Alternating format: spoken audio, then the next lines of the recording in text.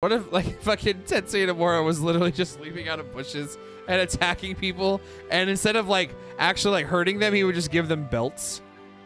That's the Tetsuya Nomura that lives in my head. If you say Tetsuya Nomura three times in a mirror, he will appear and give you either like 17 belts for you to wear onto your current outfit, or give you giant shoes to wear like Sora in Kingdom Hearts 1 through 87.